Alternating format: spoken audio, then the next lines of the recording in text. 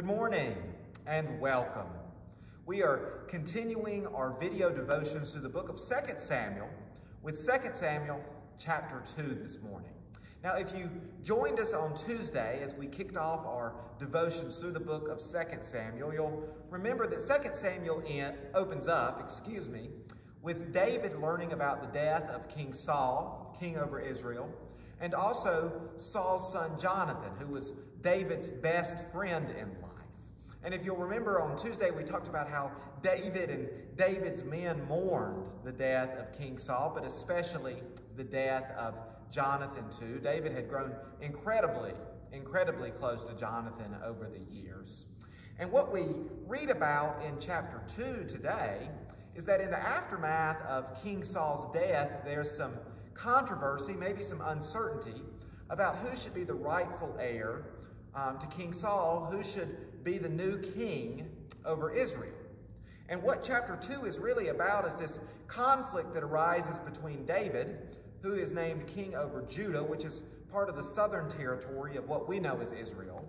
Um, and then one of Saul's sons, and I'm not going to try to uh, attempt to say his name because I'm sure I would mispronounce it, who is named king over some of the northern territories in Israel. And there's actually a battle that takes place between David's men and uh, this fellow named Abner, who is one of the military leaders of um, King Saul's son. Uh, but anyway, as I was reading chapter 2, it just reminded me of, of what we talked about a lot in 1 Samuel, is it just how incredibly patient David is.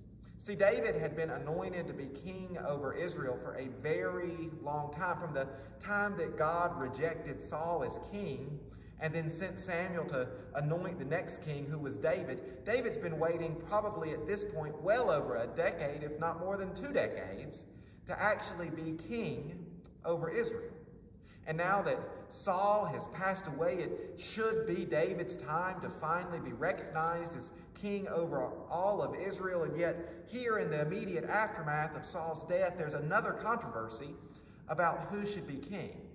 And yet, here again, I think David is just so incredibly patient, and he has trust and faith in God, and especially in God's timing. And it got me thinking about how often in life do we face adversity? Do we face uncertainty? Do things not really seem to go our way?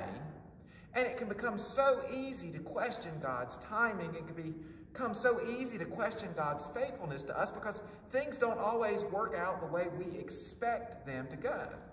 And see, I think we can learn so much from David about what it means to be patient, about what it means to be faithful to God, uh, what it means to trust in God's timing, because time and time again, we see how faithful David is, how much faith he has in God, how much trust he has in God, and how David is always rewarded for that faith.